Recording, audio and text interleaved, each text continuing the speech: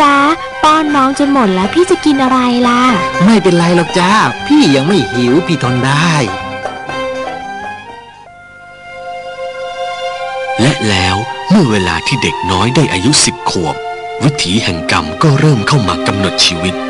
มิตรวินทุกะถูกพ่อแม่ขับออกจากกระท่อม ให้ออกไปเผชิญโชคเลี้ยงตนเอง เจ้าออกไปอยู่ข้างนอกซะเถอะพ่ อกับแม่จนปัญญาที่จะเลี้ยงดูเจ้าแล้ว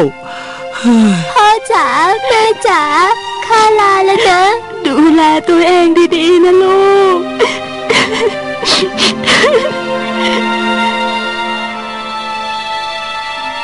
เด็กน้อยเร่ร่อนหากินเลี้ยงปากท้องจนเติบใหญ่เป็นหนุ่มชะกัน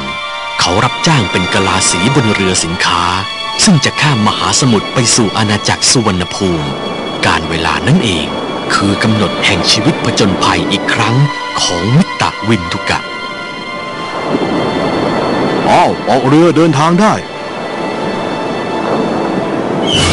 และแล้วเจ็ดวันในมหาสมุทรก็เป็นเจ็ดวันอันทุกข์ทรมานของพ่อค้าและลูกเรือทุกคน พวกเขาต้องเจอกับคลื่นลมและพายุรุนแรงไม่เคยว่างเว้น โอ้ยคลื่นลมแรงอีกแล้ว พวกเราอะระวังเข้าของในเรือด้วยนะ ข้าจะหล่นแล้ว โอ๊ยทำไมลมแรงอย่างนี้เนี่ย โอ้โอ้อีอีอีอีเคราะห์ร้ายจริง ๆ เลย ครั้งเนี้ยออกเรือเจอแต่ลมกับพายุเฮ้ยพายุใหญ่ทั้งนั้นด้วยเอ้อจะรอดไหมเรา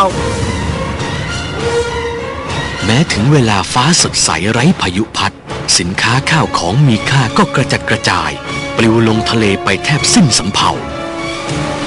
โอ้ยตายตายตายตายตายข้าวของปลิวลงทะเลหมด เฮ้ย มาช่วยกันจับไว้เร็ว เฮ้ย ใครจะไปช่วยได้ล่ะท่าน แค่ตัวเองยังเอาตัวไม่ค่อยจะรอดเลย เอ๊ะ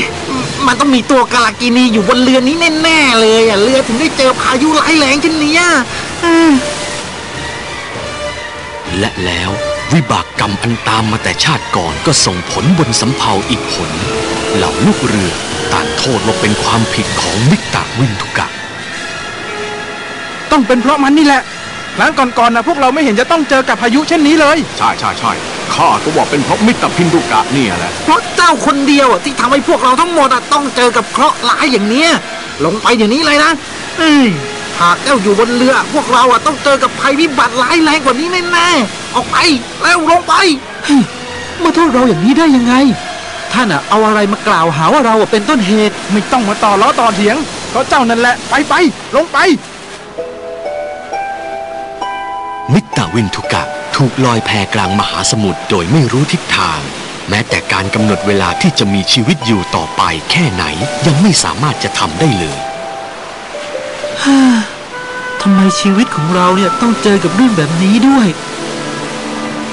จนเวลาล่วงเข้าวันที่สามความหวังก็ปรากฏให้เห็นที่เส้นขอบฟ้า ฮะ เกาะกลางสมุทร โอ้ มีปราสาทแก้วแวววาวด้วยอะ เรารอดตายแล้ว พระท่านว่าคนเรามีกรรมเป็นของตน และกรรมก็ชักพาให้แพน้อยลอยเข้าหาวิมานกลางทะเลนั้นจนได้ ที่นี่เป็นวิมานที่เหล่าสตรีผู้ทำชั่วแล้วสะพังกุศลมาจุติอยู่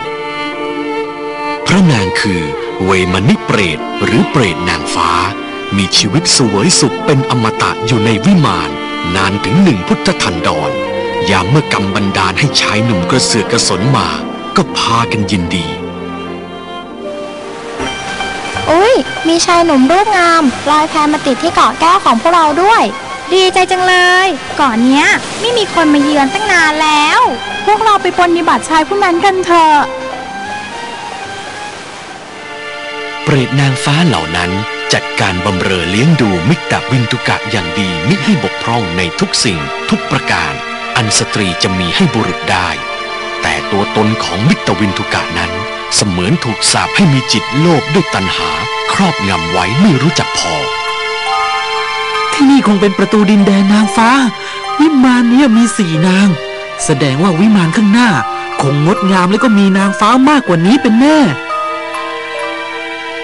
นางเวนานิกเปรตนั้นมีชีวิตถูกสาปอยู่แล้ว จึงไม่อาจเหนี่ยวรั้งสร้างบาปได้อีก เมื่อชายหนุ่มต้องการเดินทางต่อ ก็เนรมิตเรือทองให้เล่นไปได้ทุกถิ่นตความประสงค์ เราไปแล้วนะ ขอบคุณพวกท่านมากที่รับรองเราเป็นอย่างดี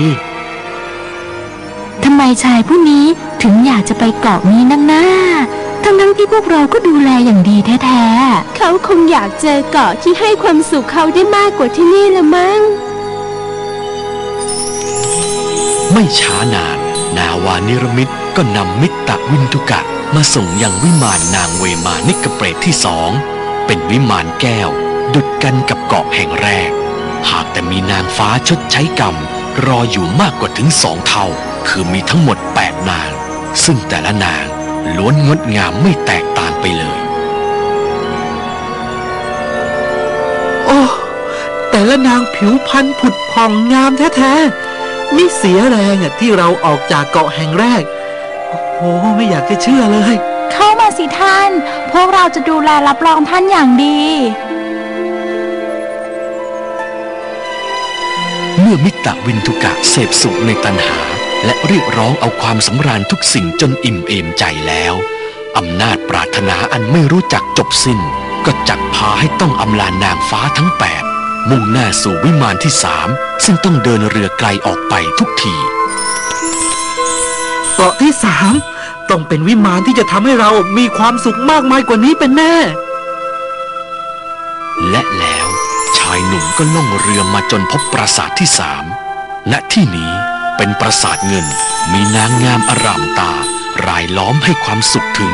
16 สาวงาม มาทางนี้สิจ๊ะพ่อหนุ่มพ วกเราจะต้อนรับท่านเป็นอย่างดี มิตรวินทุกะดูจะพรั่งพร้อมความสุขเทียบได้กับราชาผู้ครองนครแล้ว แต่อำนาจตันหาอันนำพาความอยากได้อยากมีไม่รู้จบสิ้น ก็เร่งให้ชายหนุ่ม ยังอยากแสวงหาและครอบครองสิ่งที่ดีกว่าอยู่เช่นเดิม หากเราออกเดินทางสู่เกาะข้างหน้าเนี่ย เราคงได้พบกับความสุขที่มากมายกว่านี้แน่ๆ โอ้โห โชคดีแล้วเรา ในไม่ช้า ชายหนุ่มก็เดินทางไปหาเส้นขอบฟ้าอีกจนได้ วิมานที่สี่เป็นวิมานทองมีนางเวมานิกเปรตชดใช้กรรมรออยู่ถึง 32 นาง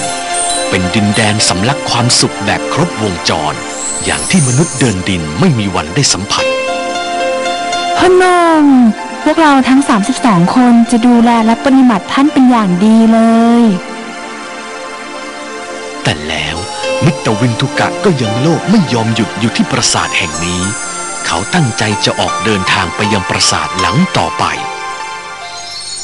พ่อหนุ่มจ๊ะท่านจะเดินทางไปที่แห่งใดอีก เกาะแห่งนี้เป็นวิมานที่สุดท้ายแล้วนะจ๊ะ ข้างหน้ามีแต่อุทสุดนรกเท่านั้น